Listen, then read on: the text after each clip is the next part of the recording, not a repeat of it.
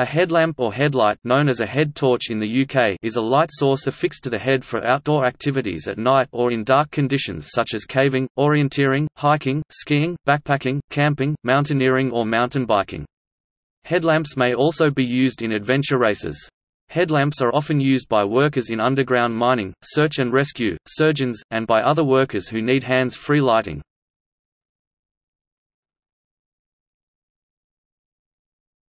Topic. Description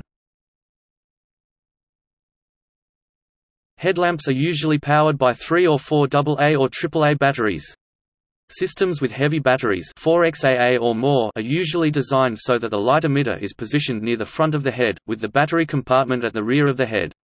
The headlamp is strapped to the head or helmet with an elasticized strap. It is sometimes possible to completely disconnect a headlamp's battery pack, for storage on a belt or in a pocket. Lighter headlamp systems are strapped to the user's head by a single band, heavier ones utilize an additional band over the top of the user's head. White LEDs were quickly adopted for use in headlamps due to their smaller size, lower power consumption, and improved durability compared with incandescent bulbs. Power LEDs rated 1 watt or more have displaced incandescent bulbs in many models of headlamps. To avoid damage to electronic parts, a heatsink is usually required for headlamps that use LEDs that dissipate more than 1 W. To regulate power fed to the LEDs, DC-DC converters are often used in 1W plus lights, sometimes controlled by microprocessors. This allows the LEDs to provide brightness that is not affected by a drop in battery voltage, and allows selectable levels of output. Following the introduction of LEDs for headlamps, sometimes combinations of LED and halogen lamps were used, allowing the user to select between the types for various tasks.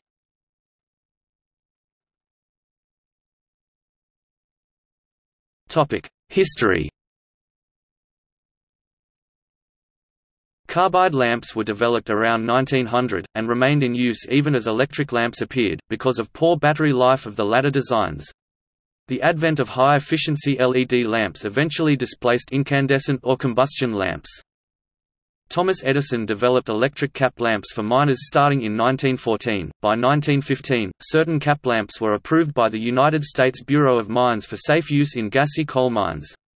These included features such as spring-loaded contacts to automatically disconnect broken bulbs. These lamps consisted of a reflector and incandescent lamp and a separate belt-mounted wet cell storage battery. The battery was sized to power the lamp for the entire working shift. After 12 hours a 1917-era miner's lamp produced less than 1 candle power and about 2 to 5 total lumens. This pattern became popular for similar lamps. Headlamps approved for use in coal mines are designed not to allow an internal spark to ignite flammable gas surrounding the headlamp.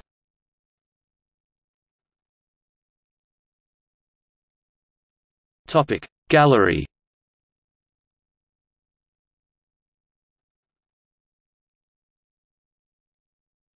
Topic: Manufacturers.